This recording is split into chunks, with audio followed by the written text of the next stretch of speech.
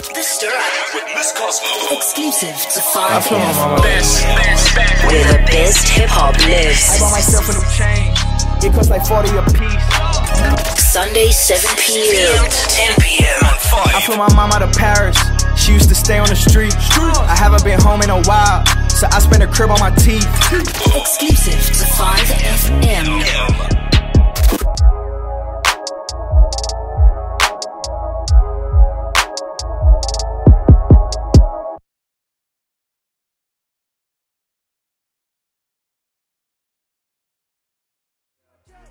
I'm running these streets like Swizzy. I'm out on the beat. I'm on the beat. Man, I am church. Thanking the God I am blessed. Amen.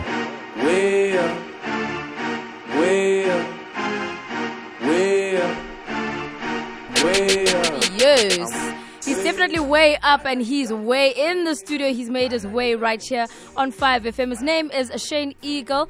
That tune featuring Big Star Johnson, way up on 5FM. We finally have him in studio, ladies and gentlemen. Are we even worthy? Playing the classic stuff. Thank yes, you for me. yes, yes. You know, we gotta make sure we give you a nice warm welcome, you know? Before we drop all the brand new, brand new, brand new. Yes, sir. Um, yes, welcome, Shane. Um, I don't think I've actually interviewed you in the studio. No. No, we just did the one performance when you had just dropped Yellow. Yeah. Uh huh. And it's been a, a long time since you dropped Yellow. Uh, obviously, you did Never Grow Up. Now, Dark Moon Flowers out. Mm-hmm. How are you feeling about the growth? How are you feeling about how the music has changed? How are you feeling about this new person that you've Mm-hmm. blossomed into? Sometimes it even, you know, shocks me, Really? but it's more just like I've had that idea of where I want to be. Uh-huh. So to just see it like come to life is like okay. Yes. Yeah. Yes, yes, yes, indeed, indeed. So Dark Moon Flower is out. It is a mixtape, not an album. Mm, I, love, I love the fact that you know that. Yeah, oh, I have to know these things. Otherwise, I'm not doing my job correctly. You know what I mean? Um, it is a mixtape. Uh, go out there and obviously check it out. But um, you've obviously been making a lot of waves with regards to this brand new music. Why specifically a mixtape and not an album?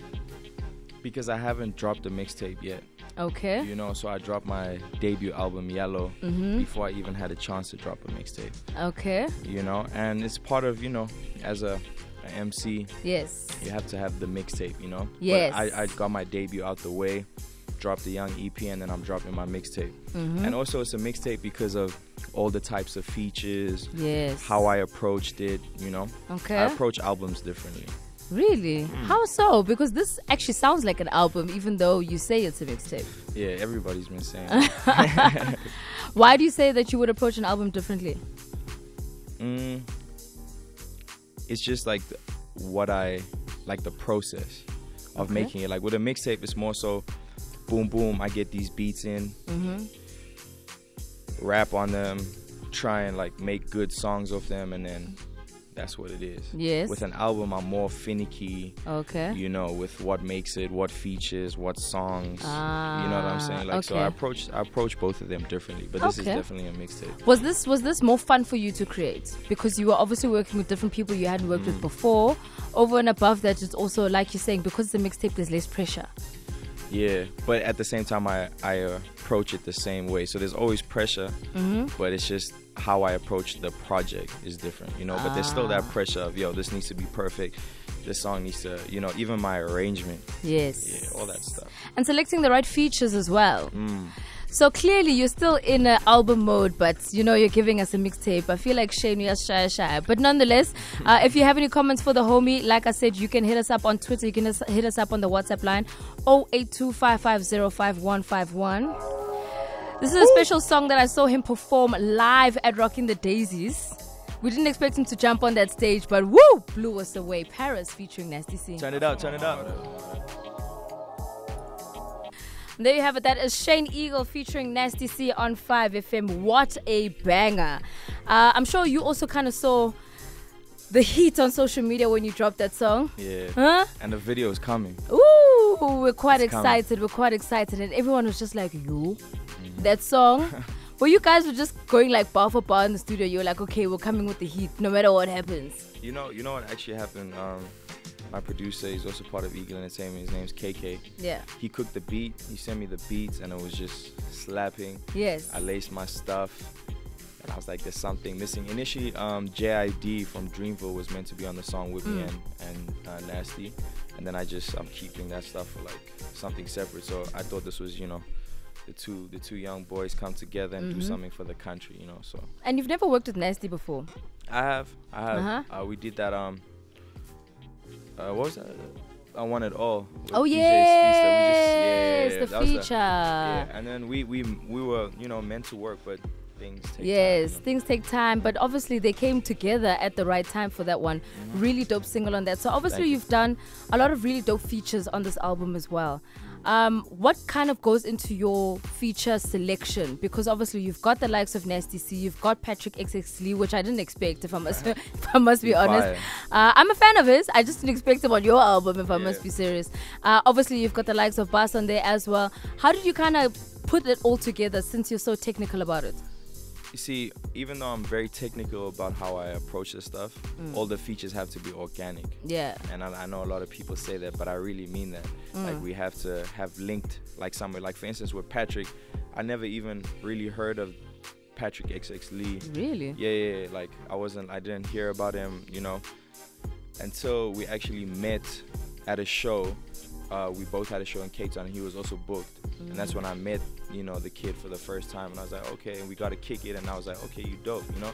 That's how we met. Same thing with most of the Dreamville artists. I went on tour with them. Yeah. Um, the Hics, they from the UK. They, Yeah. My favorite features. I met them in Paris. Okay. You know, so most of these artists, um, I just met organically, and we had a you know cook. And at the same time, all of these artists who are featured are like my favorite favorite artists, like in the That must be right so mind blowing for you because now you're at a point where you're literally just okay. You're this kid from, you know, Johannesburg, South Africa, just trying to get by like. Right. everybody else. And now you're touring Europe. You're touring um, Europe with some of the biggest artists in the world. Um, your connection with Bas obviously kind of unlocks some of these features for you as Mm. well. Please tell us about your relationship with the Dreamville Cats. Mm, my relationship with Dreamville is um, with with the artists in Dreamville. It's just a solid one because it was just based off like real fundamentals. You know, they got Mm. to know me as a person Yeah. before you know they understood the music, and um, and like I was saying this before, how a lot of things are actually unlocking for me Yeah. is because the, the, one of the things that I, I think as African people we need to change is is when people kind of get to a a, a position of power they don't want to help the people at the bottom get on it's like I'd rather keep all these opportunities for myself Yeah. now the dudes in Dreamville and stuff, they kind of like if they have a resource that you need, they just open it for you. You know what I'm saying? If Mm. they can hear you working on a project and it's like, yo, this project needs Metro Boomin or this project needs someone, you know, they give you that number. It's like, Nice. yo, you know, Ebro's my boy, speak to Ebro, you know? They- Yeah, they, yeah, they, like that. So I think it, it was just organic and obviously, you know, my music um resonates with them as well. So you always have to start with the art first Yes. make sure the music is quality, even if no one's listening, and everyone will. Yes, yes, yes. Yeah, going going on tour in Europe was life changing. I can imagine. Which was your best, well, well your favorite country that you'd gone to? I was in Germany. really? yeah. Why specifically Germany?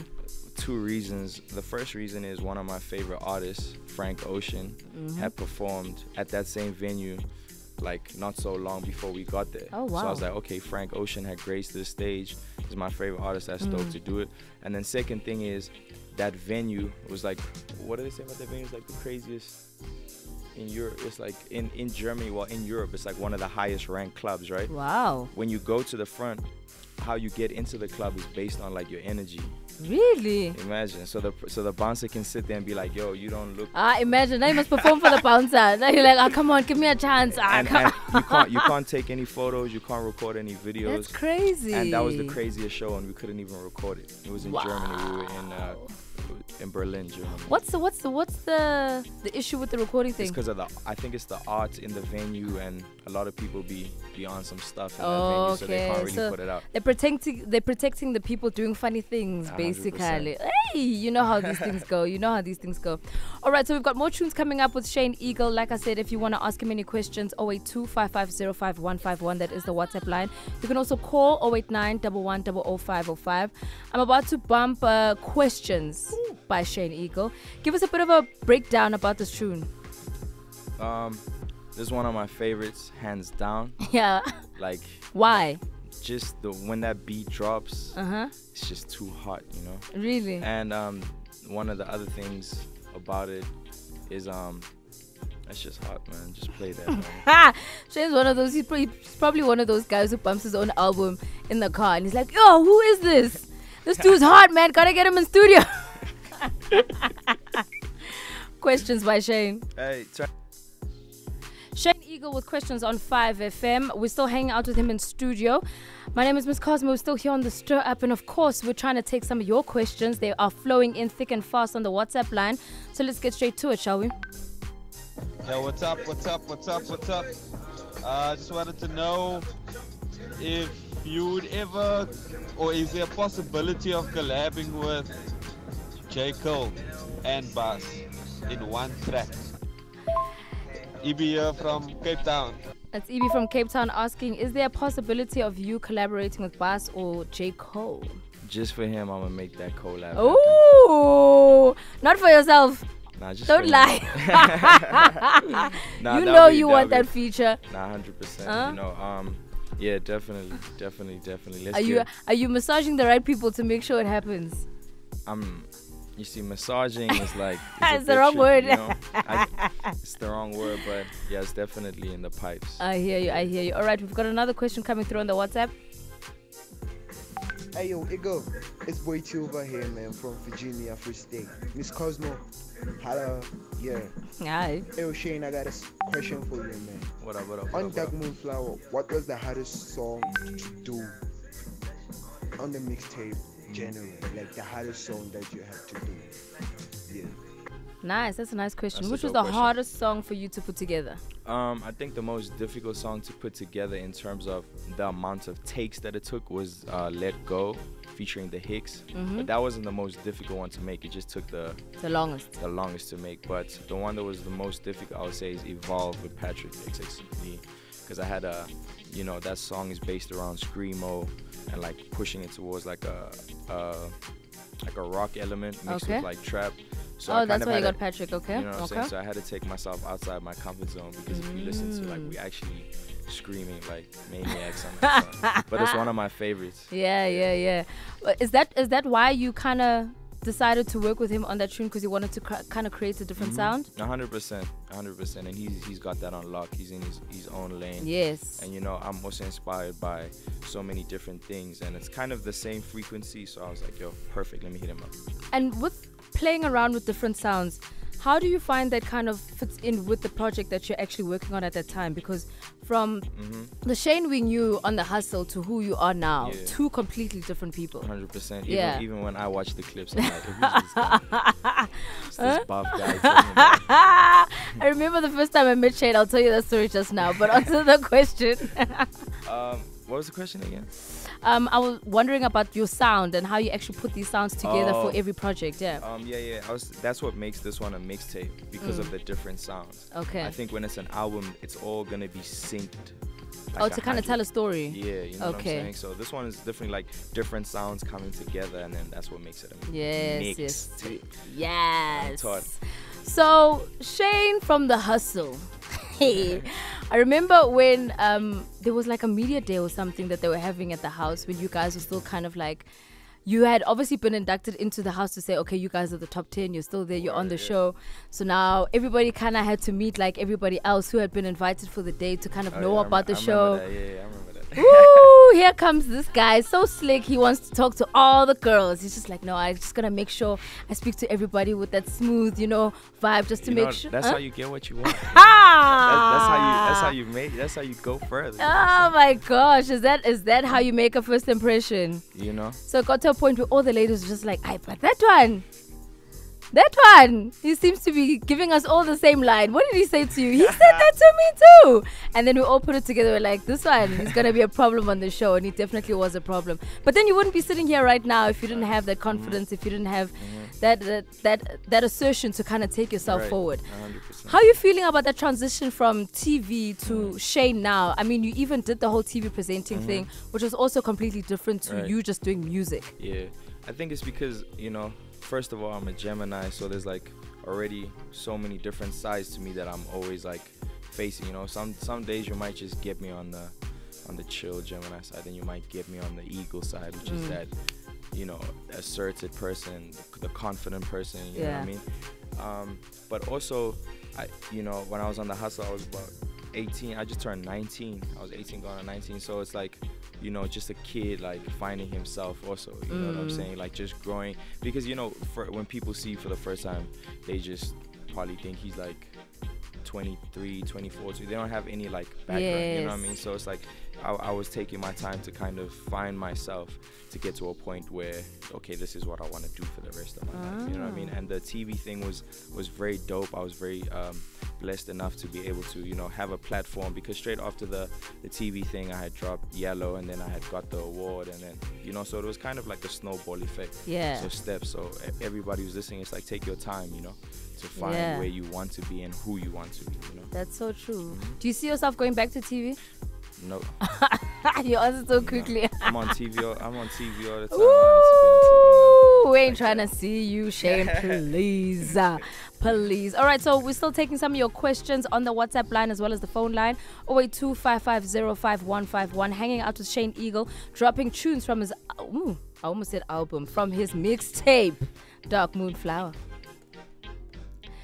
So here's one of the tunes that Shane said is one of his favorite on the mixtape. So check it out, Whispering to the Moon featuring the Hics. Like I said, taking some of your WhatsApps 082 550 5151. 5505151. They are flooding in. We might not be able to get to everybody, but we'll try and get to what we can. Okay, just before we get to the questions, Mm. just because you didn't come to the private listening sessions for the Dark Moon Flower, Oh, I I knew, I gift. knew I he was gonna give me heat about this. so this is for you. Oh, thank Exclusive. you. Look Yeah. at that. No, no one else got that, so that's for you. What do you mean no one else got one? I saw I saw Viju was wearing a jacket It and it wasn't was this one. ooh, and it's orange and it's for you. it's a medium, but I'm gonna wear it anyway. I'm gonna turn it into a dress. Thank you so much, Shane. Yes. Got you. All right, so uh, special things happening in studio, definitely, but uh, also special things happening on the WhatsApp line. Let's get to those questions. Yo, Shane, what's up? My name is Cosmo.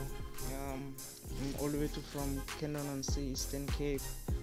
Just wanna say to Shane, uh, big ups, man. I love the song with with Lord from Dreamville. I love that song. It's my favorite. Um, and I just want to say, bruh, maybe next year when you're not busy, please come to Eastern Cape, bruh. Maybe a young tour or something.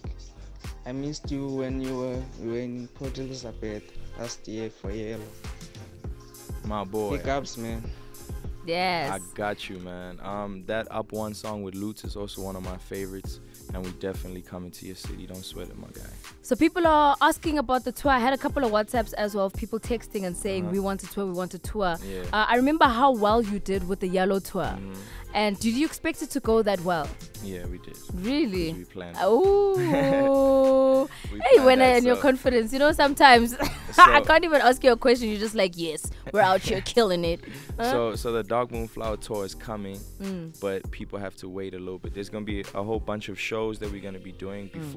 Before, which is very, you know, Dark moonflower But the tour, because there's so many international artists involved, it's gonna take, you know, a bit of time to get them over to South Africa. So the tour is coming. Nice. It's gonna be a big tour, uh, but we're doing some shows, so we'll pop it into all the cities before then. Nice. Is that like a 2020 thing? Yep. Okay, For cool. sure, yeah. All right, let's get to the next question. Uh, this is this is Maju from Sharpeville. What up, Maju? I was just wondering, what's what's his creative process like? Well, does he just jump on a beat, or does he write something before, and does he take t- take time to like think about what he wants the song to be about? I just want to know that. Thank you.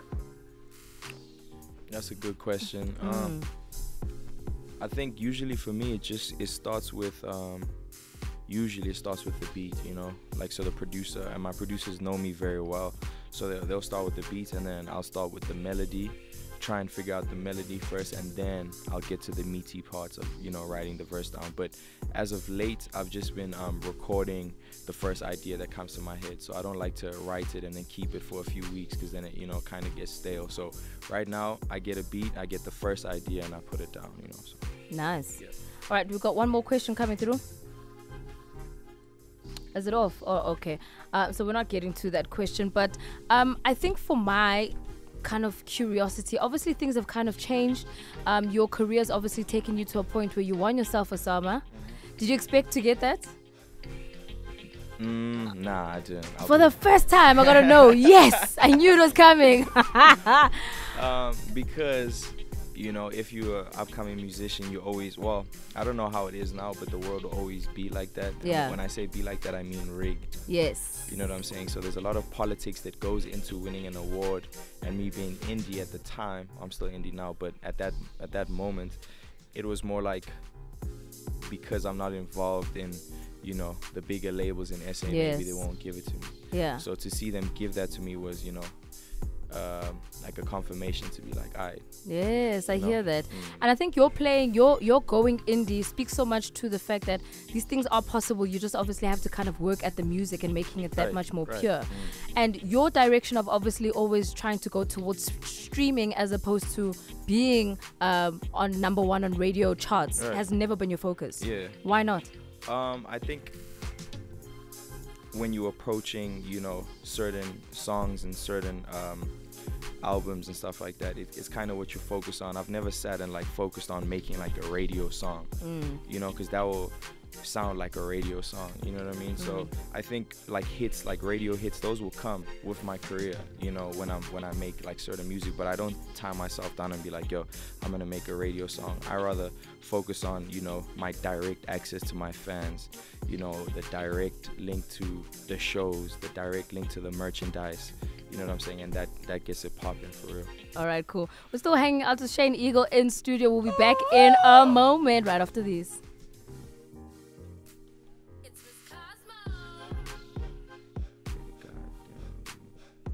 Shane Eagle with Black on 5 FM, coming off of his mixtape Dark Moon Flower. We're still hanging out with him in studio. We're taking some of your questions on the WhatsApp line. What it is? Uh, Bongeni from Pietermaritzburg. I was wondering, uh, what were your biggest challenges in running your own independent record label? Um, let me get my man V to answer that question. Answer that question, but that's your question. Alright. Um, Huh? What was the one of the most difficult things about being independent? Yes. Um, finance, because you have to make the racks yourself. Yes. Yeah. It's always the biggest problem. Capital is always the biggest problem because you need to pay for music videos, you need to pay for studio time, you need to pay for producers, you need to pay for so many things, packaging, distribution, and people don't realize. And then when they fuck out of the music, you say, "Why are you doing that?" I was trolling. but at the same time, I wasn't trolling, but at the same time, I was. Okay. Because I understand both sides. Okay. You know, so the first side is, is more so like, this is what I was saying. I was saying, people say that they don't have enough money to buy an iPhone to get Apple Music. Mm. Totally get it. But with the same amount of money you use to buy data to stream it on an illegal site, you could have downloaded the app Spotify and then get the music for free because Mm. it's free. It's just it's just more so an understanding, you know. But at the same time, I know how people's minds think. So I say, yo, don't stream my music on Fakaza. What does Mm. everyone do? They do it anyway. So as long as you're streaming my music, I get, but then you can't count. You can't account for those streams. they pull up to the shows. They do pull up to the They shows, up but at, at some point, for me, is how. Mm, Okay, I guess it's maybe the tour. That's probably it's- how it's- you'll it's, get the money you know, back. But it's give take. Mm. You know, because I understand, especially in South Africa, I've actually been working on an idea to help solve that. You know, um, and and it's it's a it's a it's a cool idea that actually Ebro and I spoke about when we went to Robbie Ridge. Ebro from Hot 97. We um, we went to Robbie Ridge where I'm from, and he gave me an idea of how to change that because of that very same thing. You know, Ah. and and it's main, mainly because you know people Kokasi, they don't really have internet. They don't Yes. have Wi-Fi. They don't have those things. So it's a problem for them to get the other stuff, you know? Yeah. So we need to sort that problem out first. Hey, He's also going to be president. Watch out now. All right, we've got another question for Shane.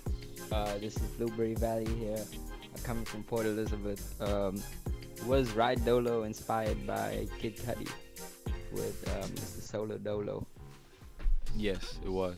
Good call. Really? Yeah. He's smart. Why specifically? It's the um the heaven in your eyes bar. That's Yes. what he's talking about. You know, Cu- uh, Cudi always plays with melodies, and he inspires me. So that song was inspired by Cudi actually, which is crazy. I don't think anyone, even my own team, was like, really? like, yeah, it was. But I guess that's that's the element of music is always kind of taking inspiration from other people. Uh, but do you sample a lot in some of your music? I don't think you do. No, well, I do. I do. Yeah. Yeah, I do. I do sample, um, but I also like to create things from scratch. Mhm. You know, um, but sampling is is you know it's cool because sometimes you like your your favorite stuff, but it's just when I sample music, you can't really tell where it came from. Yes. You understand what I'm saying? But then, uh, but then, wouldn't you argue that sometimes sampling something kind of goes to a bit of a waste then, having to Pay for pay the royalties, but then people don't actually recognize where you sampled it from. It, you see, it depends what you're trying to do. You know what I'm saying? If you sample a, a record, just make sure that song's gonna be big. Ah. So, you know what I mean? So you can make your stuff back. Yes. You know, because if you sample and then, you know, clearance issues and they they want you to pay for all of that and you're not gonna make it back, then don't do it. That's so or true. sample and drop it for free. Alright, alright, okay, okay. and there you are. All right, so we're still hanging out with Shane Eagle in studio. We're still gonna be taking some of your WhatsApps. We do have to take a short break, and of course, we are making our way to the local top five. We have a brand new number five and a brand new number one for this week. We're gonna do a bit of a recap with last week's number one after this. Stino Le Thwenny on this one called Run on 5FM, representing Bloom with this one as number one for the local top five. Last week, we do have a brand new number one for this week. We're going to check it out in a moment. Still in studio with Shane Eagle. We're going to wrap up in a moment, but obviously taking some of your WhatsApp, some of your questions, and of course, uh, you know, some of your comments showing love for Shane and his brand new mixtape, Dark Moon Flower. Let's go. Yo, what's up, Shane? What's up, Miss Cosmo? It's Les all the way from Soweto. Shane, I just, I just want to know, man. Like you, you doing this whole thing independent. You have your own label. I just want to know, are you considering signing artists right now or in the near future? Yes, you need to pass that baton, huh? You were talking about that a little bit earlier. Yeah. Huh? Um, I'm only willing to sign someone if they can run quicker than me. What? And, I, and I, mean, I mean that like not physically, but when it comes to the mic. Yes. You know what I'm saying? So if I see someone who I can be like, okay, this person can take it, you know, is it have to be better than me. But young guys are also still kind of learning their way through the But industry. you, but you can see it. You know what I'm saying? You can see it like immediately if they want it, if they're hungry, if they're skilled. Because I'm not looking for someone who's as good as me at this point. It's more so finding someone who you can see has room to grow. Okay. You know what I'm saying? This person has room to be one of the greatest artists, and you can see that from the beginning. Okay. So you got to be great.